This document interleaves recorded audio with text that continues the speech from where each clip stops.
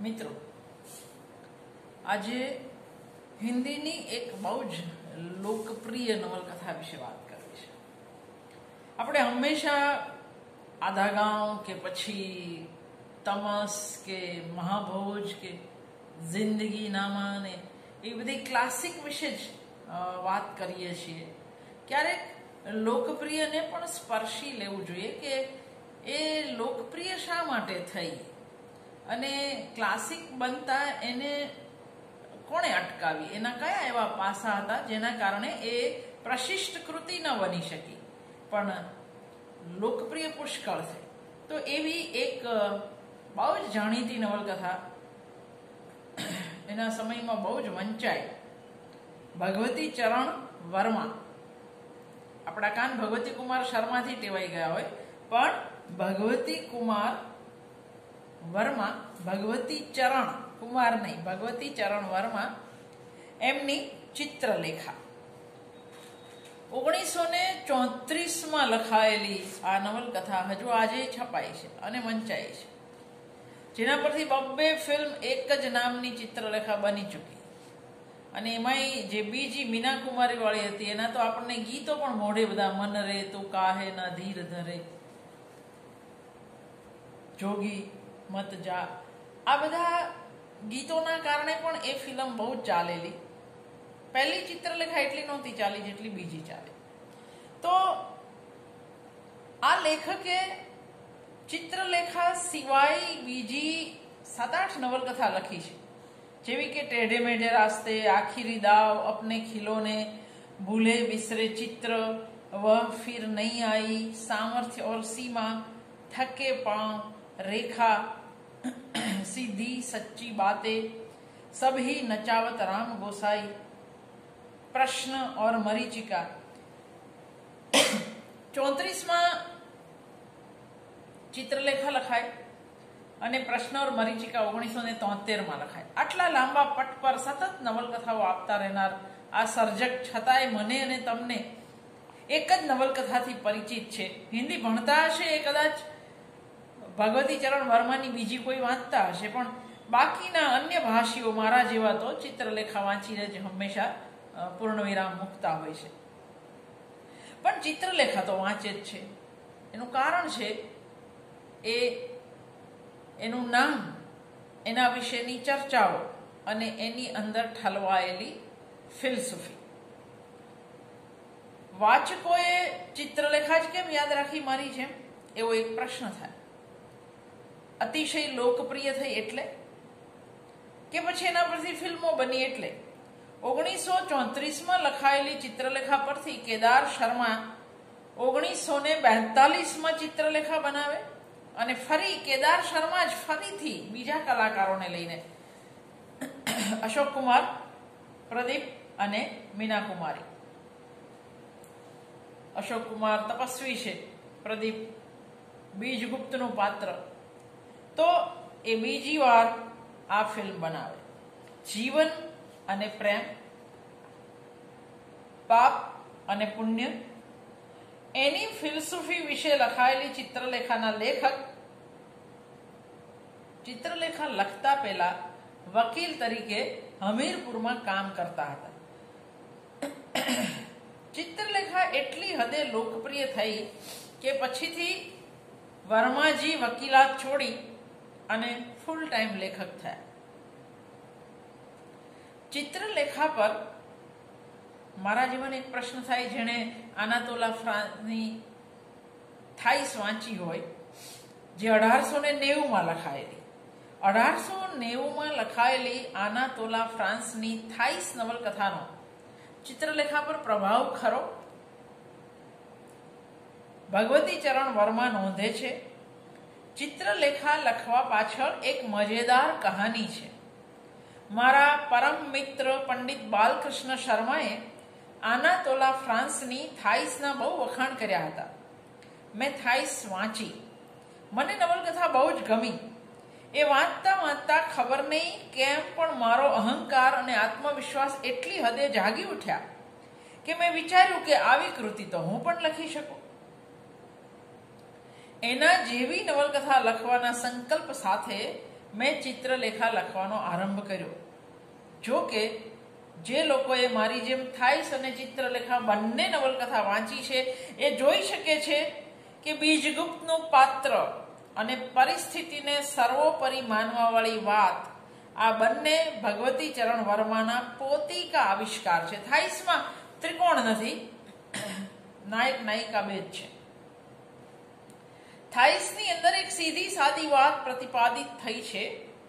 એ વાત આ છે કે અસહજ, અકુદરતી નિવૃત્તિ માર્ગ પર સહજ, કુદરતી એવા પ્રવૃત્તિ માર્ગનો વિજય.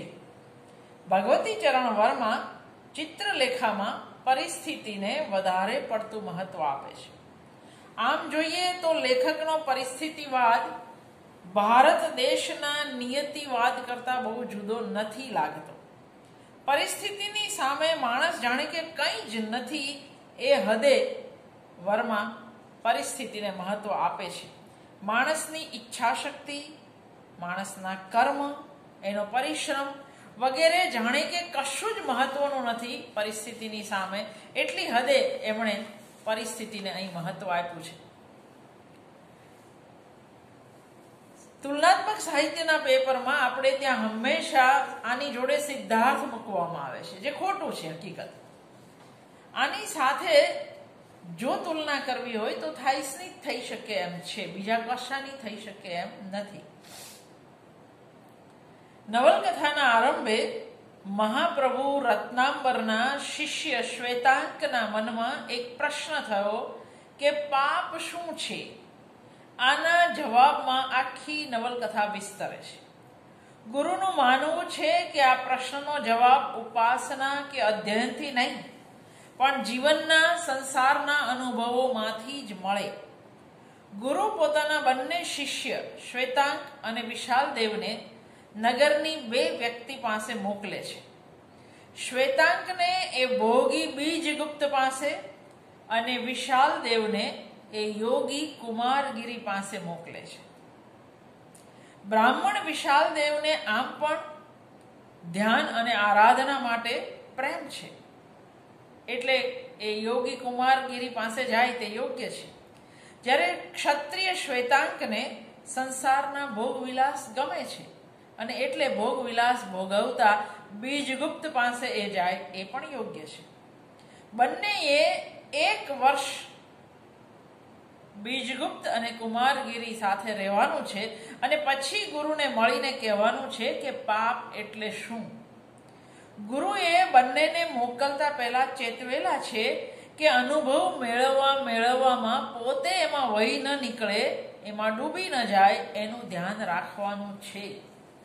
ગુરુએ બંનેને મોકલતા પહેલાં આ બંને મહાનુભાવો વિશે એમને જે વાત કરી, એમાં હકીકતે આપણને એવું લાગે કે કલમના એક જ ઝાટકે લેખકે કુમારગીરી અને બીજગુપ્ત બેઉના પાત્ર લેખન કરી દીધા. હવે આપણે એમના વિશે કશું તારવવાનું રહેતું નથી. જે પાત્ર લેખન થયું એ પ્રમાણે આ પાત્રો વર્તે એવું જ થશે. આ મુનશી સ્ટાઇલ છે. કુમારગીરી યોગી છે. એનો દાવો છે કે એમણે સંસારની સમસ્ત વાસનાઓ પર વિજય મેળવી લીધો છે. સંસારથી પોતે વિરક્ત છે અને એમના મત પ્રમાણે એમણે સુખ એટલે શું એ પણ જાણી લીધું છે એમનામાં તેજ અને પ્રતાપ છે શારીરિક તાકાત છે આત્મિક બળ છે એમણે મમત્વને વશીભૂત કરેલું છે યૌવન અને ત્યાગે મળીને એમનામાં એક અલૌકિક શક્તિ પેદા કરી છે संसार उसका साधन है और स्वर्ग उसका लक्ष्य विशाल देव वही कुमारगिरी तुम्हारा गुरु होगा ગુરુ શ્વેતાંકને કહે છે બીજગુપ્ત ભોગી છે એના હૃદયમાં ઉમંગ છે અને આંખોમાં માદકતાની લાલાશ છે રત્ન જડિત મદિરા પાત્રોમાં એનું સુખ સમાયેલું છે ઐશ્વર્યની બીજગુપ્તને જરાય ખોટ નથી એના હૃદયમાં સંસારની સમસ્ત વાસનાઓનો નિવાસ છે એને ઈશ્વર પર વિશ્વાસ નથી કદાચ એણે ક્યારેય ઈશ્વર વિશે વિચાર્યું પણ નહીં હોય સ્વર્ગ કે નર્ક કશા વિશે એને કશી ચિંતા નથી आमोद और प्रमोद ही उसके जीवन का साधन है और लक्ष्य भी उसी बीज गुप्त का तुम्हें सेवक बनना पड़ेगा સ્વીકાર હૈ આ બંને વિશે સઘળું કહી દેતા લેખક ચિત્રલેખા વિશે પણ બધું જ કહી દેશે એનું પાત્ર પણ આપણે મનમાં કલ્પવાનું રહેતું નથી.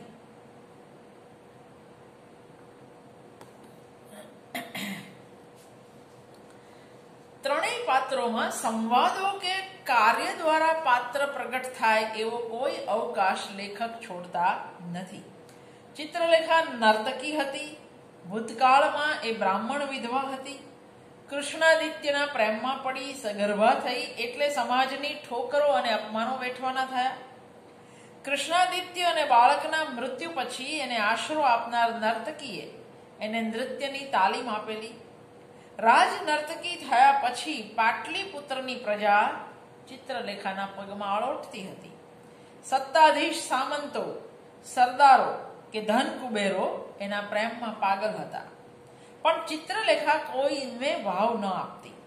નૃત્ય જોવા આવેલા બીજગુપ્તના ચહેરામાં એને એના પૂર્વ પ્રેમી કૃષ્ણાદિત્યનો ચહેરો દેખાય છે નૃત્ય પૂરું થયા પછી બીજગુપ્ત એને મળવા માટે પૂછે છે પણ ચિત્રલેખાનો જવાબ સ્પષ્ટ છે मैं केवल समुदाय के सामने आती हूं व्यक्ति का मेरे जीवन से कोई संबंध नहीं है ઘડીક વાર માટે નિરાશ થયેલો બીજગુપ્ત વળતી દલીલ કરે છે વ્યક્તિ સે ही तो समुदाय होता है बनता है તો પછી આવો ભેદ શા માટે? બીજગુપ્ત તો પ્રશ્ન મૂકીને જતો રહ્યો, પણ ચિત્રલેખાના હૃદયમાં એ ખળભળાટ કરતો ગયો. દિવસો વીતવા સાથે એના હૈયાનો ખળભળાટ વધતો ગયો. આખરે ચિત્રલેખા બીજગુપ્તને એક પત્ર લખે છે. એ લખે છે, ચિત્રલેખાના જીવનમાં એક વ્યક્તિ આવી શકે છે અને એ વ્યક્તિ બીજગુપ્ત છે. રત્નાંબર શ્વેતાંકને જ્યારે બીજગુપ્તને ત્યાં મૂકવા જાય છે, ત્યારે ચિત્રલેખા પણ ત્યાં હાજર હતી રત્નામર પોતાના એક વખતના શિષ્ય બીજગુપ્તને નવા શિષ્ય શ્વેતાંકની સોંપણી કરતા કહે છે, આ તારો ગુરુ ભાઈ છે. એને પાપ શું છે એ સમજવા તને સોંપું છું. એ ભૂલ કરે તો ક્ષમા કરજે. ગુરુ શ્વેતાંકને કહે છે, અચ્છા, ઓર બુરા. ये तुम्हारे सामने आएगा पर इस कसौटी पर ध्यान रखना कि अच्छी वस्तु वही है जो तुम्हारे वास्ते अच्छी होने के साथ दूसरों के वास्ते भी अच्छी हो પહેલી રાતે બીજગુપ્તના કહેવાથી શ્વેતાંક ચિત્રલેખાને એના ઘરે મૂકવા જાય છે ખાસ્સું વાયવી લાગે એવા ગુણવર્તન દ્વારા લેખક કુમારગીરીને યોગી સાબિત કરે છે હું તો એવું જ કહીશ કે લેખક સાબિત કરે છે. કુમારગીરીના વર્તનમાં મને કોઈ જગ્યાએ એ યોગી છે એવું નવલકથામાં તો નથી મળતું, કશે. કુમારગીરીએ વાસનાઓને તપ વડે દબાવી દીધી હતી, એ સુખી હતો કારણ કે એની સામે ઈચ્છાઓનો કોઈ સંસાર હતો જ નહીં. એટલે અધૂરી ઈચ્છાઓનો કોઈ પરિતાપ પણ એના માટે નહોતો. એના જીવનની અકર્મણતા પર જ્ઞાન અને વિચારનું આવરણ હતું. રત્નાંબર વિશાલદેવને સોંપતા કુમારગીરીને કહે છે, આ પાપ શું છે તે જાણવા આવેલો છે?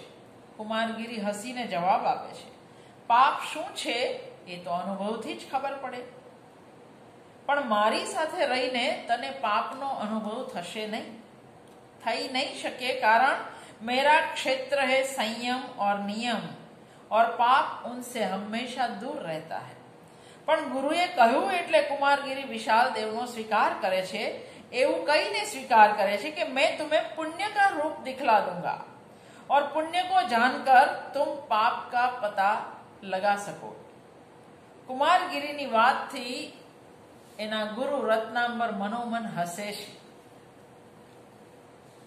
ગુરુ છે જાણે છે શિષ્યની મર્યાદાઓ પણ શિષ્ય ભયાનક અહમવાળો અને દંભી છે રત્નાંબરના ગયા પછી કુમારગીરી વિશાલ દેવને પ્રશ્ન પૂછે છે વાસના ક્યા હૈ विशाल देव नो जवाब छे वासना इच्छाओं का दूसरा नाम है कुमारगिरी कहे छे वासना पाप है वासनाओं से प्रेरित होकर मनुष्य ईश्वरीय नियमों का उल्लंघन करता है और उनमें डूबकर मनुष्य अपने को, अपने रचिता ब्रह्म को भूल जाता है। इसलिए वासना त्याज्य है।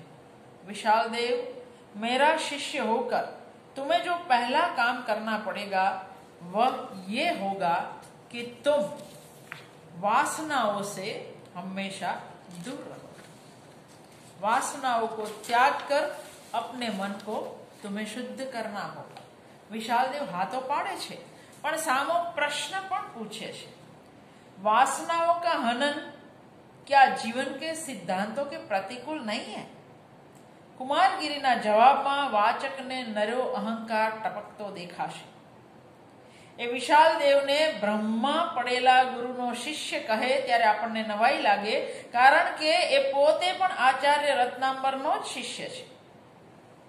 અને પોતાના ગુરુ માટે આવું કે છે. વાસનાના ત્યાગની વાત કરતો કુમાર કુમારગીરી પછીથી પોતે જ વાસનાનો દાસ થઈ જાય છે. પચીસ વર્ષની ઉંમરે શ્વેતાંકે દર્શનો તથા સ્મૃતિ ગ્રંથોનો અભ્યાસ કરી લીધેલો છે. કાવ્યમાં એણે પ્રેમના વર્ણનો વાંચેલા, પણ હજી એ સ્ત્રીને ઓળખતો નહોતો થયો. યૌવનની માદકતા વિશે હજુ શ્વેતાંક અજાણ છે. પણ હવે લગભગ રોજ એણે ચિત્રલેખાને બીજગુપ્તના આવાસ પરથી એના ઘરે પહોંચાડવી પડતી. ધીરે ધીરે એને સમજાવવા લાગ્યું કે પોતે સંસારમાં પાપ પુણ્યની વચ્ચોવચ્ચ ઊભો છે. એની ચોપાસ વાસનાઓનો જમાવડો હતો.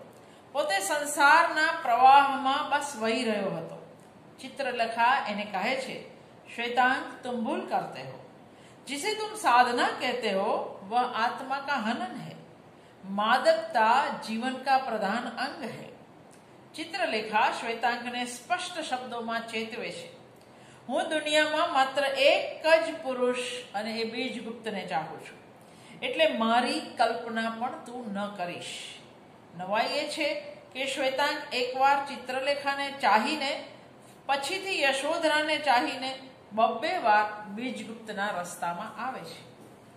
પહેલી વખતે ઉદાર મને બીજગુપ્તને માફ કરે છે અને બીજી વાર પોતાનું સર્વસ્વ શ્વેતાંકને આપી દઈ યશોધરા સાથે શ્વેતાંક પરણી શકે એ માટે એ રસ્તો કરી આપે છે. પહેલી ભૂલ વખતે શ્વેતાંકે બીજગુપ્તની માફી માંગી હતી. પણ બીજગુપ્તનો જવાબ હતો, તે ભૂલ કરી જ નથી. પછી માફી શાની. અપરાધ કર્મ મેં હોતા હે. વિચાર મેં નહીં. ચિત્તમાં તો લોકો કંઈક ઘોડા ખેલવતા હોય છે. તેથી પાપ નથી થઈ જતું.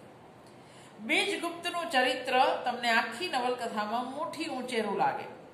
જરાય અવિશ્વાસ વગર એ શ્વેતાંકને ચિત્રલેખાને મૂકવા જવા કહે છે. એને ચિત્રલેખા પર અગાધ વિશ્વાસ છે. પણ ચિત્રલેખા કુમારગીરીના કહેવા માત્રથી બીજગુપ્ત પ્રત્યે આશંકિત થાય છે પછીથી. જે રીતે વાતચીત કે વર્તનથી આપણે બીજગુપ્તના પાત્ર વિશે આકલન કરીએ, કરી શકીએ છીએ, એવી તક આપણને કુમારગીરીના પાત્ર માટે મળતી નથી વાચક તરીકે. મોટે ભાગે સર્જક જ બધું કહેતા રહે છે. કુમારગીરી કે તર્ક અકાટ્ય છે. એવું એ જ કે એક સાંજે મોડેથી કોઈએ કુમારગીરીના આશ્રમમાં આશ્રય માંગ્યો. કુમારગીરીએ જવાબ આપ્યો, મેરી કુટી પ્રત્યેક ભૂલે હુએ પ્રાણી કે લીએ ખુલ્લી હૈ. આશ્રય માંગનાર એક સ્ત્રી છે, એ જોઈને કુમારગીરી ચોંકી ઉઠે છે. એ એની સાથેના પુરુષને કહી દે છે, આ સંસાર છોડી ચૂકેલા યોગીની કુટીર છે. અહીં સ્ત્રી. આવનાર પુરુષ એના માથાનો હોય એવો જવાબ આપે છે. ઇન્દ્રિય જીત યોગીને પુરુષ સાથે આવેલી સ્ત્રીને એક રાત આશ્રય આપવામાં સંકોચ થશે એ મને નહોતી ખબર. જરાક વાર તો કુમારગીરી કાપો તો લોહી ન નીકળે એવા થઈ ગયા. પણ પછી તરત કહે છે, મેં એક સ્ત્રીને આશ્રય દેવામાં સંકોચ કરેલો એનું કારણ એટલું જ કે સ્ત્રી અંધકાર હે. સ્ત્રી મોહ હે, માયા હે, વાસના હે.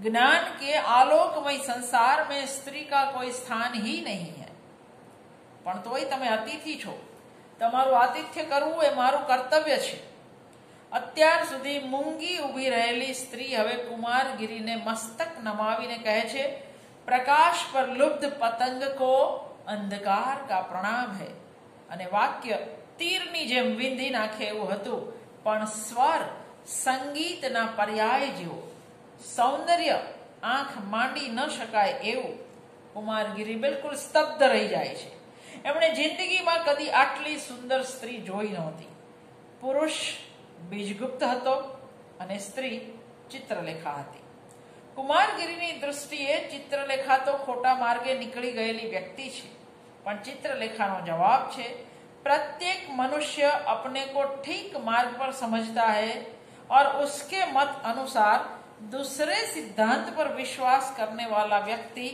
गलत मार्ग पर है લેખક પ્રત્યક્ષ હાજરી પુરાવી આ બંનેના મુકાબલાની તુલના કરે છે આ ક્રાંતિ અને શાંતિનો મુકાબલો હતો આ જીવન અને મુક્તિ વચ્ચે હરીફાઈ હતી બંનેની આંખ એકવાર મળી અને વાસના તપસ્યા કે સામને કાંપ ઉઠી અહીં આ નવલકથામાં એટલું બધું આરોપિત છે લેખક દ્વારા કે વાચક તરીકે કેટલીક વાર એકની એક ફરિયાદ કરવી. મેં તો, હું તો થાકી ગઈ ફરિયાદ કરતા કરતા પણ આ નવલકથામાં. ચિત્રલેખાની દલીલોથી કુમારગીરી વિચારે છે કે આ સ્ત્રી સુંદર પણ છે અને વિદુષી પણ છે. એનામાં વિચાર શક્તિ પણ હતી અને પ્રતિભાશાળી પણ હતી. કુમારગીરી સુખની વ્યાખ્યા કરે છે, પણ ચિત્રલેખા સામી દલીલ કરે છે. કુમારગીરી અત્યંત ભારેખમ ભાષામાં માયા બ્રહ્મ સંસારની જાળ વગેરેની વાત કરે છે બંનેની અંદર બ્રહ્મત્વ છે એવી ચિત્રલેખાની દલીલનો સ્વીકાર કરી યોગી ભેદ ક્યાં છે તે સમજાવતા કહે છે तुम भी ब्रह्म का अंश हो और मैं भी ब्रह्म का अंश हूं भेद केवल इतना है कि तुम माया मिश्रित ब्रह्म हो और मैं माया को छोड़ चुका हूं दलीलों पर पर्दो पाड़ता कुमारगिरी कही दे छे तर्क का कोई अंत होता नहीं है सत्य अनुभव की चीज है પરંતુ આ દલીલબાજીમાં બંને એકમેક તરફ આકર્ષાયા યોગીને ચિત્રલેખાના જ્ઞાને આકર્ષ્યો તો ચિત્રલેખાએ યોગીમાં સૌંદર્ય જોયું બીજગુપ્તને દ્રાસકો પડ્યો એ ચિત્રલેખાને કહે પણ છે આપણા બંને પર દુઃખના વાદળ ઘેરાઈ રહ્યા હોય એવું મને લાગે છે ચિત્રલેખા એક જરાક વાર ક્ષણ પૂરતી ઓઝપાઈ જાય છે પણ તરત જ બીજગુપ્તને આશ્વાસન આપતા એ કહે છે અને કુમારગીરીના નકારાત્મક પાસા ગણાવતા એ કહે છે પ્રિયતમ संसार में कोई भी व्यक्ति हम दोनों के बीच में नहीं आ सकता આવું કહેતી ચિત્રલેખાએ બીજગુપ્તને બ્રહ્મમાં નાખ્યો પણ પોતાની જાતને એ ન સમજાવી શકી એ કુમારગીરીથી આકર્ષાઈ ચૂકી હતી રાજ દરબારમાં થતી તાત્વિક ચર્ચામાં ચાણક્યની સામે કુમારગીરી છે ચાણક્યની દલીલો તર્ક અકાટ્ય છે તેઓ કહે છે मनुष्य की अंतरात्मा केवल उसी बात को अनुचित समझती है जिसको समाज अनुचित समझता है अंतरात्मा समाज દ્વારા નિર્મિત છે અને આ વાત સાચી છે વાદ વિવાદમાં ચંદ્રગુપ્ત ચાણક્યને હારેલા અને કુમારગીરીને અપરાજેય જાહેર કરે છે પરંતુ ચિત્રલેખા કુમારગીરીને બે ચાર સવાલમાં જ પરાસ્ત કરી દે છે. ચાણક્ય જીતનો મુકુટ હવે ચિત્રલેખાને પહેરાવે છે. હારથી અપમાનિત થયેલ કુમારગીરી અજંપ છે. એક સ્ત્રી અને એ એક સામાન્ય નર્તકીના હાથે પરાજિત થવું પડ્યું, એનો એને વધારે ચચરાટ છે. વળી એણે વિજયનો મુકુટ પોતાના માથા પર મૂક્યો. એનાથી કુમારગીરી વધારે અકળાયા છે. અચાનક આવી ચડેલી ચિત્રરેખા જમીન પર પડેલ મુકટ ફરીથી યોગીના મસ્તક પર મૂકે છે. ચિત્રલેખાએ રાજ દરબારમાં પણ પોતાનો આ મુકટ પોતાને લાયક નથી, પણ કુમારગીરીને લાયક છે એવું કહી અને કુમારગીરીના મસ્તક પર મૂકેલો. પણ આશ્રમમાં જઈ કુમારગીરીને જમીન પર મૂકી દે છે. આવી ચડેલી ચિત્રલેખા એ મુકટ ફરીથી એમના મસ્તક પર મૂકીને કહે છે, તમને પરાજિત કરવા મારા માટે અશક્ય છે. મારામાં એવી ક્ષમતા કે શક્તિ છે જ નહીં.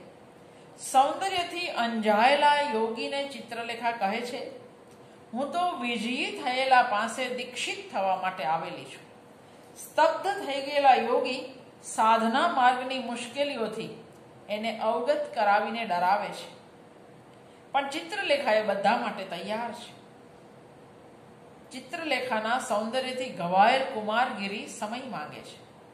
એને ડર છે કે ચિત્રલેખાના કુતર્કમાં પોતે ફસાઈ ન જાય પણ ચિત્રલેખા એને જવાબ આપતા કહે છે स्त्री अंधकार नहीं है स्त्री शक्ति है वह सृष्टि है यदि उसे संचालित करने वाला व्यक्ति योग्य है लेकिन स्त्री विनाश है यदि उसे संचालित करने वाला अयोग्य है इसलिए जो मनुष्य स्त्री से भय खाता है वह या तो अयोग्य है या તો કાયર જો કે આપણે ચિત્રલેખાની આ વાત સાથે પણ હવે સંમત થઈ શકીએ નહીં જતી ચિત્રલેખાને જોઈને કુમારગીરી ચોંકી ઉઠે છે ચિત્રલેખાના અવાજનું સંગીત એમના કાનમાં ગુંજતું હતું એના સૌંદર્યની આભા એમની નજર સામેથી ખસતી નહોતી।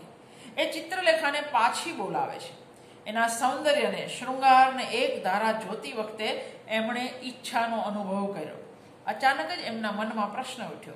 स्त्री क्या है और सौंदर्य क्या है भगवान ने इन चीजों की रचना क्यों की है કુમારગીરીને ડર લાગે છે શું હું મારા માર્ગથી વિચલિત થઈ રહ્યો છું હિંમત એકઠી કરી એ ચિત્રલેખાને કહી દે છે मैं तुमको दीक्षा देने में असमर्थ हूं असमर्थ ही नहीं वरन ये काम मेरे लिए असंभव है तुम्हें दीक्षा देने का अर्थ होगा शायद तुमसे स्वयं ही दीक्षित होना और उसके लिए मैं कतई तैयार नहीं हूं ચિત્રલેખા પોતાની નિરાશા હતાશા પ્રગટ કરતા કહે છે કદાચ મારો અને તમારો સાથ અસંભવ છે મેરા ક્ષેત્ર હે વાસના और तुम्हारा क्षेत्र है साधना ચિત્રલેખાનો કુમારગીરી પ્રત્યેનો ભાવ વાચક તરીકે આપણને આશ્ચર્ય પમાડે જો ચિત્રલેખા ખરા હૃદયથી બીજગુપ્તને પ્રેમ કરતી હતી તો આટલી હદે કુમારગીરી પર કેમ ઓવારી ગઈ? તો મેરે આરાધ્ય દેવ હો કહેવા સુધી પગે પડી ચરણ રજ લેવા સુધી એ કેમ ગઈ? મારી જિંદગીમાં એક જ પુરુષને સ્થાન છે અને તે બીજગુપ્તને છે. એવું કહેનાર ચિત્રલેખાનું વર્તન આપણને બિલકુલ સાતત્યવાળું લાગતું નથી. Why this novel is popular and not classic એનું કારણ આ છે. કન્સિસ્ટન્સી ઓફ ધ કેરેક્ટર નથી. વારે વારે લેખક વચ્ચે આવ્યા છે. પોતાને અભિપ્રેત ફિલસૂફી ડોળતા જ રહ્યા છે. એટલા, એટલે આ કૃતિ લોકપ્રિય થઈ શકે, પણ એનાથી એક ડગલું આગળ માંડી શકતી નથી.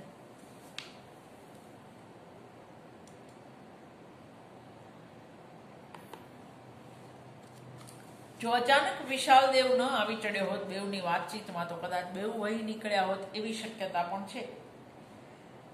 શ્વેતાંક ચિત્રલેખાના વિજયથી ખુશ હતો પણ બીજગુપ્ત એને કહે છે जिसे तुम चित्रलेखा की विजय समझते हो वह उसकी बहुत बड़ी पराजय है चित्रलेखा और कुमारगिरी કોઈ भी વિજય નહીં है दोनों पराजित हुए हैं તારે ખરેખર જાણવું હોય ચિત્રલેખાનું મન તો તું એને અભિનંદન આપ શ્વેતાંક ચિત્રલેખાના ભવન પર જઈ એની રાહ જુએ છે અડધી રાત વીતી ગયા પછી ચિત્રલેખા આવે છે અભિનંદનથી રાજી થવાને બદલે દુઃખી થાય છે કોઈને ન કહેવાની શરતે ચિત્રલેખા શ્વેતાંકને પોતાના મનની વાત કહે છે मेरी आज की विजय वास्तव में मेरी विजय न थी वो तो मेरी पराजय थी मैं कुमारगिरी से प्रेम करने लग गई हूं मुझे ऐसा अनुभव होता है मानो मेरा और कुमारगिरी का युग युगांतर का संबंध है શ્વેતાંક બીજગુપ્તને કશું ન કહે તોય બીજગુપ્ત સમજી ચૂક્યા છે એ કહે છે ચિત્રલેખા અને કુમારગીરીનું એકમેકના જીવનમાં આવવું બંને માટે ઘાતક છે दुर्भाग्यवश दोनों ही एक दूसरे के जीवन में बिना जाने हुए अपनी अपनी साधनाओं को भ्रष्ट करने के लिए अचानक आ गए हैं भगवान ही उनकी सहायता कर सकते हैं ઘણા દિવસ પછી મળતી ચિત્રલેખાને બીજગુપ્ત નહીં મળવાનું કારણ પૂછે છે ચિત્રલેખા સ્પષ્ટ શબ્દોમાં કહી દે છે ન આવી શકી કારણ કે આવવાની ઈચ્છા જ નહોતી થતી બીજગુપ્તની કલ્પના બહારનો આ જવાબ હતો એને જરાક ગુસ્સો આવે છે પણ છતાંય એ વિનીત ભાવે કારણ પૂછે છે चित्रलेखा जवाब છે ये परिवर्तनशील संसार में किसी भी चीज का बदल जाना स्वाभाविक नहीं है આ સાંભળી બીજગુપ્ત સ્તબ્ધ રહી જાય છે એનાથી અનાયાસ પૂછાઈ જાય છે तो फिर समझ लो कि चित्रलेखा का प्रेम बदल गया है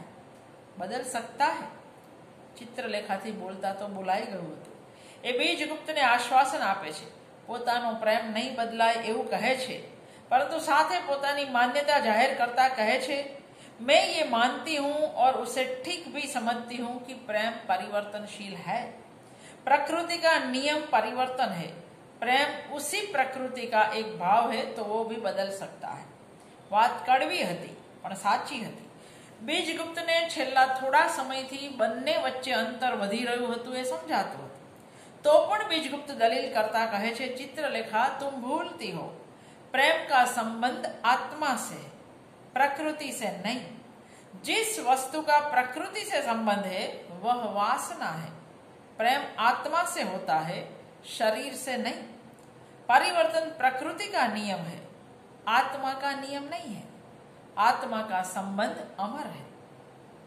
ચિત્રલેખાની તર્ક કરવાની શક્તિ જો ચાણક્ય અને કુમારગીરીને હંફાવી શકતી હોય તો એ બીજગુપ્તને તો જવાબ આપી જ શકે એ કહે છે आत्मा अजन्मा है इसलिए अमर है पर प्रेम तो अजन्मा नहीं है ચિત્રલેખાની વધી ગયેલી તર્ક શક્તિ સામે પાછો પડકો પાછો પડી રહેલો बीजगुप्त કહી દે છે उन्माद और ज्ञान में जो भेद है वही वासना और प्रेम में है उन्माद अस्थाई होता है और ज्ञान स्थायी होता है એ પળ પૂરતી ચિત્રલેખા પોતાના તર્કને વિરામ આપે છે બીજગુપ્તની દલીલ સ્વીકારતી હોય એમ દલીલ નથી કરતી જો કે ચિત્રલેખા જેટલા તર્ક લડાવે છે એ લેખકે ઉછીને આપેલા હોય એવું વાચકને લાગે એણે પ્રેમની અનેક વાર વ્યાખ્યા કરી અને દરેક વાર એને પોતાનો પાછળનો નિર્ણય ખોટો લાગ્યો. એનું વ્યક્તિત્વ, એનું રૂપ, એની દલીલો બધું લેખક કહે તેવું. એનું પોતીકું જાણે કે કશું જ નહીં. આ નવલકથાની સૌથી મોટી મર્યાદા આ જ છે. લગભગ દલીલો લેખક તરફથી આવતી હોય એવું લાગે છે. બીજગુપ્ત સિવાયનું એકેય પાત્ર સાતત્યથી નથી વર્તતું ચિત્રલેખા કે કુમારગીરી બંનેનું વર્તન વારે વારે બદલાતું રહ્યું છે. સામંત મૃત્યુંજય બીજગુપ્તને પોતાની કન્યા યશોધરાને સ્વીકારવા કહે છે. પણ બીજગુપ્ત ચિત્રલેખા સાથેના પોતાના સંબંધને આગળ ધરી કહે છે, ભલે શાસ્ત્રોક્ત વિધિથી અમે બંને નથી જોડાયા, પણ સ્ત્રી અને પુરુષના ચિરસ્થાયી સંબંધને તો વિવાહ કહે છે. બીજગુપ્ત ચિત્રલેખા સિવાયની બીજી કોઈ સ્ત્રી સાથે સંબંધ બાંધવા તૈયાર નથી યશોધરા જેવી સુંદરી સાથે પણ નહીં ચિત્રલેખા એને સમજાવે છે તુમે યશોધરાસી પત્ની મિલના અસંભવ હૈ ચિત્રલેખા પ્રત્યે જેને રાગ જન્મી ચૂક્યો છે છતાં જે દંભ આચરી રહ્યા છે તે કુમારગીરી મૃત્યુંજયને કહે છે यशोधरा के लिए बीजगुप्त से अच्छा वर तुमको नहीं मिलेगा ચિત્રલેખા સાથે રહે તો બીજગુપ્તના સંતાનો એના વારસદાર ન ગણાય. પણ બીજગુપ્તે આ વાતનો કદી વિચાર કર્યો જ નહોતો. મૃત્યુંજયના કઈ બતાવ્યા પછી પણ એના માટે આ વાત મહત્વની નથી. આવો મનુષ્ય જ નવલકથાના અંતે કર્યો એવો સર્વસ્વનો ત્યાગ કરી શકે. સાચો યોગી મને અને તમને બીજગુપ્ત લાગે છે. કુમારગીરી તો ચિત્રલેખા બીજગુપ્તને છોડી દે, એમનો સંબંધ તૂટી જાય એ જ ઉચિત એવું મૃત્યુંજયને સમજાવે છે बीजगुप्त को सुखी बनाना मेरा कर्तव्य है उसे मुक्त कर देना ही मेरा महान त्याग होगा और उसके जीवन का સાર્થક બનાના હોગા બીજગુપ્તને છોડવાનો નિર્ણય કરતી ચિત્રલેખા હકીકતે કુમારગીરીથી આકર્ષિત થઈ ચૂકેલી છે એટલે છોડી રહી છે પણ દેખાવ એવો કરે છે કે જાણે કે હું બીજગુપ્ત માટે બલિદાન આપતી હોઉં એવું છે બીજગુપ્ત એકલો પડેલો બીજગુપ્ત શ્વેતાંક અને યશોધરાને લઈને કાશી જતો રહે છે. અને ત્યાં શ્વેતાંક અને યશોધરા વચ્ચેનો પ્રેમ જોઈ અને બીજગુપ્ત મૃત્યુંજયને વિનંતી કરે છે કે તમે શ્વેતાંકને પરણાવો. પણ શ્વેતાંક સામંત નથી. બીજગુપ્ત પોતાનું સર્વસ્વ, સંપત્તિ, સામંત પદ બધું જ એને આપી અને પોતે નીકળી પડે છે અકિંચન થઈને. વૈભવ વિલાસ છોડીને આવેલી ચિત્રલેખાને સ્વીકારવા કુમારગીરી તૈયાર નથી एनो एक જ जवाब છે तुम्हें दीक्षा देने का अर्थ है गिरना नीचे गिरना मैं तुम्हें जानता हूं और मैं अपने आप को भी जानता हूं तुम्हें ऊपर उठाना कठिन है स्वयं નીચે गिरना सरल है તું અહીં કેમ આવી એનો સાચો જવાબ આપ ચિત્રલેખા કહી દે છે મેં તુમે પ્રેમ કરને આવી હું કુમાર ગિરી ઘણી દલીલો પછી અને ખાસ તો એના શિષ્ય વિશાલ દેવના હાસ્યથી ક્રોધિત થઈ ચિત્રલેખાને પોતાની કુટીરમાં રાખવા તૈયાર થઈ જાય છે જો કે કહે છે ऐसा मालूम होने लगता है कि जैसे कि मैं आग से खेलने जा रहा हूं ચિત્રલેખા એને આશ્વસ્ત કરે છે વાચકને ચિત્રલેખાનો કુમારગીરી માટેનો પ્રેમ બિલકુલ સમજાતો નથી બીજગુપ્તને યશોધરા ગમી છે, એનું સૌંદર્ય લોભામણું છે, પરંતુ પોતે ચિત્રલેખાને ચાહે છે. ચિત્રલેખા સાથે ભલે વિવાહ નહોતા થયા, પણ એ એની પત્ની જ હતી. બીજગુપ્તને ખબર છે કે પોતે ચિત્રલેખા સિવાય બીજા કોઈને પરણી શકે એમ નથી.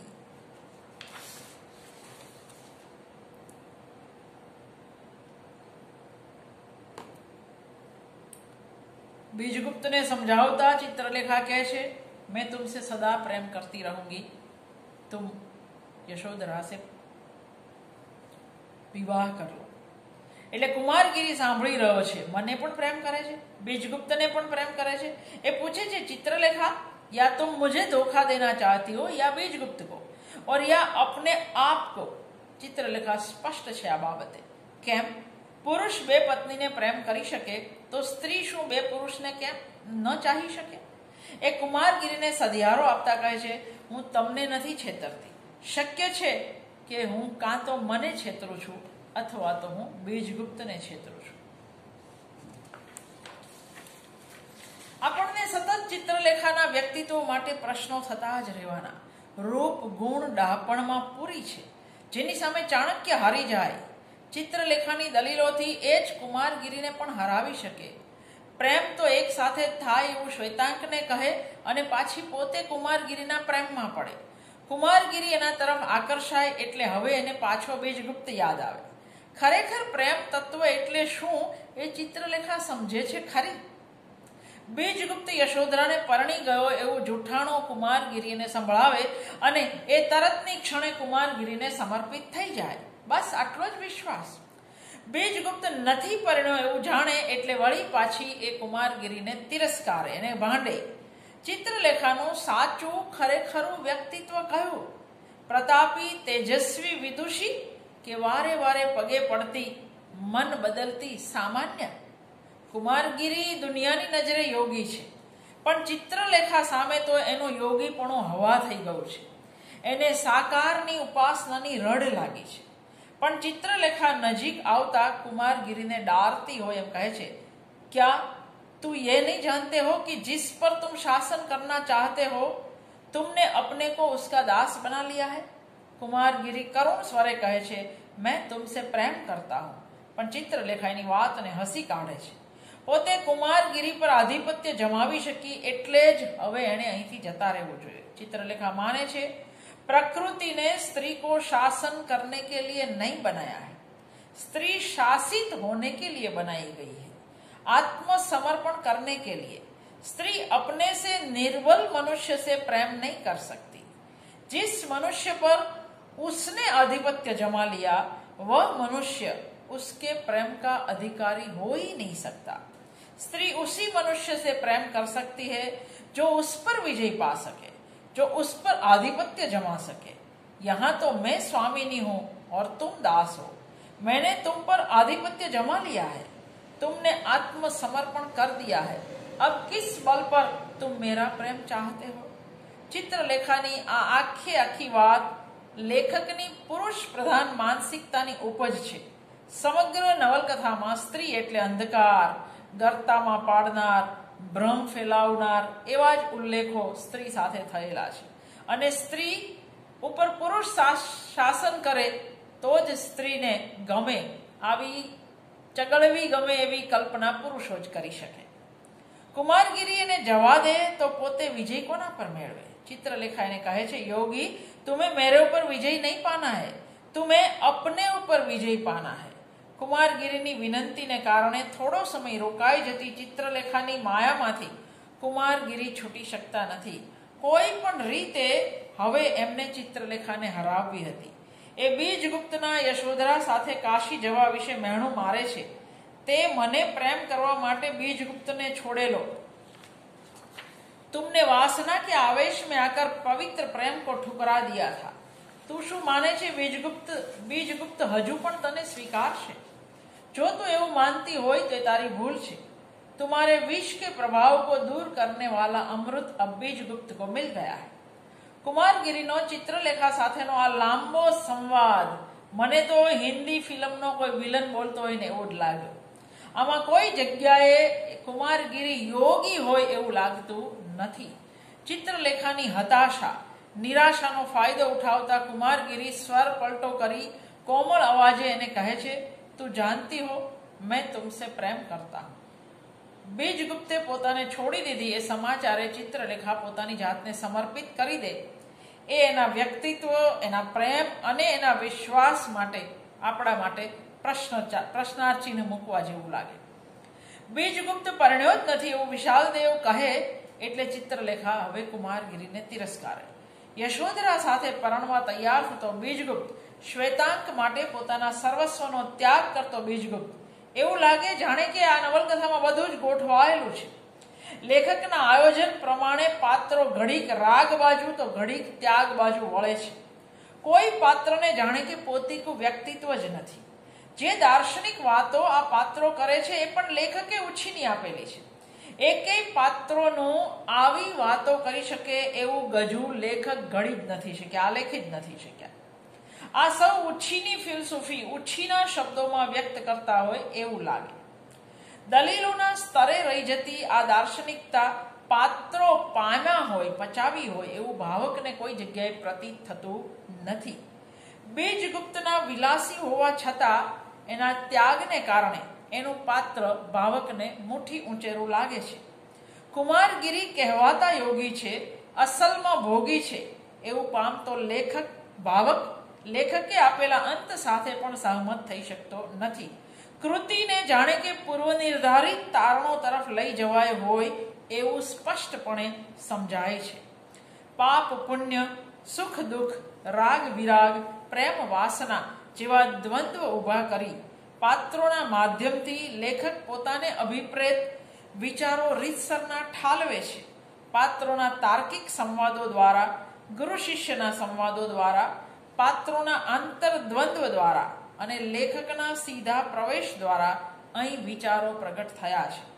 વિચારોનું ભારણ કૃતિમાં એક કરતા વધારે વાર શિથિલતા લાવે છે. લેખક પોતાની પૂર્વ નિર્ધારિત પાપ પુણ્યની વિભાવના પ્રતિપાદિત કરવામાં સફળ નથી થયા. વિશાલદેવ કુમારગીરીના સ્ખલનનો સાક્ષી છે. એની સામે એ વક્ર નજરે જુએ છે, હસે પણ છે. અને છતાં અંતે જે તારણ રજૂ કરે એ કોઈ રીતે ગળે ઉતરતું નથી. શ્વેતાંક પર બીજગુપ્તના અનહદ ઉપકાર છે અને એના કારણે જ એ યશોધરાને પરણી શક્યો છે. એટલે ગુરુના પૂછવા પર એ કહે છે, બીજગુપ્ત દેવતા હૈ. સંસાર મેં વે ત્યાગ કી પ્રતિમૂર્તિ હૈ. और कुमारगिरी पशु है। वह अपने लिए जीवित है। कुमारगिरी पापी है। विशाल देव कहे छे, योगी कुमारगिरी अजीत है। उन्होंने ममत्व को वशीभूत कर लिया है। वे संसार से बहुत ऊपर उठ चुके हैं। बीजगुप्त वासना का दास है। उसका जीवन संसार के घृणित भोग विलास में है। वह पापी है। હકીકતે શ્વેતાંક ચિત્રલેખાને કારણે બેઉનું મૂલ્યાંકન કરી શકે.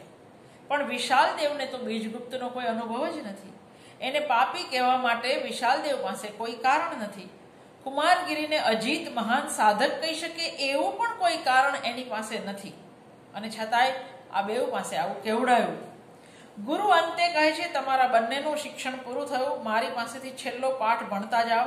સંસાર મેં પાપ જૈસા કુછ ભી નહીં है वह केवल मनुष्य के दृष्टिकोण की विषमता का दूसरा नाम है। जो कुछ मनुष्य करता है, वह उसके स्वभाव के अनुकूल होता है और स्वभाव प्राकृतिक है। मनुष्य अपना स्वामी नहीं है। वह परिस्थितियों का दास है, विवश है, करता नहीं है, वह केवल साधन है। फिर पुण्य और पाप कैसा? संसार में इसलिए पाप की परिभाषा नहीं हो सकी और न तो हो सकती है। हम न पाप करते हैं हम न पुण्य करते हैं हम केवल वही करते हैं जो हमें परिस्थितिवश करना पड़ता है બીજ ગુપ્ત આખી નવલકથામાં કશે પરિસ્થિતિનો દાસ લાગે છે ખરો શ્વેતાંક માટે સઘળું ત્યાગે ધન પદ સત્તા રાગ સર્વસ્વ ત્યાગી નીકળી જનાર બીજગુપ્ત કોઈ જગ્યાએ નવલકથામાં પરિસ્થિતિનો દાસ લાગતો નથી એ ભલે યોગી નથી પણ વિવેક બુદ્ધિથી એક જ સ્ત્રી પ્રત્યેના પ્રેમથી, મૌલિક વિચારણાથી, ત્યાગથી યોગીની કક્ષાએ એ પહોંચી શક્યો છે. લેખકે ભલે પોતાની પૂર્વધારણા પાત્ર પર લાદી, પણ બીજગુપ્તનું પાત્ર લેખકની પૂર્વધારણાથી જુદી રીતે વર્તે છે. દરેક દૃષ્ટિએ બીજગુપ્ત કુમારગીરીથી ચડિયાતો પુરવાર થાય છે. સ્ત્રી પ્રત્યેના પ્રેમ, આદર બાબતે, શ્વેતાંકને એનો પ્રેમ અપાવવા, સર્વસ્વ ત્યાગવા બાબતે અંતે ચિત્રલેખાને ફરીવાર સ્વીકારવા બાબતે બીજગુપ્ત સવાયો મનુષ્ય પુરવાર થાય છે. એની સામે ચિત્રલેખા પર લટ્ટુ થતો, એને ધમકાવતો, છળ કપટથી એને પરાણે પામતો અને છતાંય યોગી અને ત્યાગી હોવાનો દાવો કરતો કુમારગીરી વિશાલદેવને ભલે યોગી લાગે, વાચકને બિલકુલ લાગતો નથી. શ્વેતાંક યશોધરાને પરણવા માટે માણસ કરી શકે એના કરતાં વધુ બીજગુપ્તે કર્યું છે. અને એના વ્યક્તિત્વની આ ઉદારતા વાચકને સ્પર્શી જાય છે. કુમારગીરીના વ્યક્તિત્વમાં આવી ગરિમા, આવા, આવી ઉદાત્તતાના દર્શન એક વાર પણ નથી થતા. ઘણાએ ચિત્રલેખાને ઐતિહાસિક નવલકથા કહી છે. હકીકતે પાટલીપુત્ર, ચંદ્રગુપ્ત મૌર્ય અને ચાણક્યની હાજરીને કારણે કોઈને કદાચ એવું લાગ્યું હોય. હકીકતે અહીં આ નામ સિવાય બધું જ કલ્પિત છે. આ શુદ્ધ અર્થમાં નૈતિક કે દાર્શનિક સમસ્યાની સપાટી પર ચર્ચા કરતી નવલકથા છે. અહીં ફિલસૂફી ચર્ચાના સ્તરે રહી ગઈ છે. એ ન તો કોઈ પાત્રના વિચાર વર્તનમાંથી ઉત્ક્રાંત થાય છે, ન તો સમગ્ર કૃતિમાંથી ઉત્ક્રાંત થાય છે. આપણે આ નવલકથાને લોકપ્રિય ચોક્કસ કહી શકીએ, પરંતુ એને પ્રશિષ્ટ કે શ્રેષ્ઠ નવલકથા કહેનારાઓ સાથે હું તો સંમત નહીં થઉં. આપણને પરિચિત ફિલસૂફી અહીં ઠાંસી ઠાંસીને ભરી છે. એટલે ભાષા પણ ખાસી સૂત્રાત્મક બની ગઈ છે. લેખકના દૃષ્ટિકોણ મુજબ મનુષ્ય પરિસ્થિતિનો દાસ છે, સ્વામી નથી. હકીકતે આ વાત લેખકના મનમાં પડી છે અને કૃતિના અંતે એમને સિદ્ધ કરવી છે. પછી ભલે ને બીજગુપ્ત કુમારગીરી કે ચિત્રલેખાના પાત્રોનું વર્તન કે લક્ષણો એ પ્રમાણે ન હોય. નવલકથા માટે જે દૃષ્ટિ એટલે કે વિઝન હોવી જોઈએ એનો વર્મામાં બિલકુલ અભાવ છે. નિયતિવાદમાં લેખકની અટલ આસ્થા એમના પાત્રોને નિષ્ક્રિય અને નિષ્પ્રાણ બનાવી દે છે ગોપાલ રાય લખે છે भगवती बाबू के उपन्यासों को सृजनात्मक दृष्टि से कमजोर बनाने वाली चीज उसका व्यावसायिक दृष्टिकोण भी है व्यापारी दृष्टि कथा में सस्ती रोचकता पैदा करने के लिए वे संयोगों सामान्य रुचि को तुष्ट करने वाली चमत्कार पूर्ण घटनाओं और काम प्रसंगों को कथा सूत्र के रूप में इस्तेमाल करते हैं शिल्प और भाषा के स्तर पर भी भगवती बाबू के उपन्यास प्रबुद्ध पाठक को संतोष नहीं दे पाते ચિત્રલેખા બાબતે મને શ્રી ગોપાલ રાય સાથે પૂરેપૂરા સંમત થવાનું ગમે ભલે લોકપ્રિય હોય પણ આને પ્રશિષ્ટ કહી શકાશે નહીં લેખકે ઉધાર આપેલી ફિલસૂફીના ભારથી શિથિલ બની જતી એવી એક લોકપ્રિય નવલકથા છે ચિત્રલેખા અસ્તુ.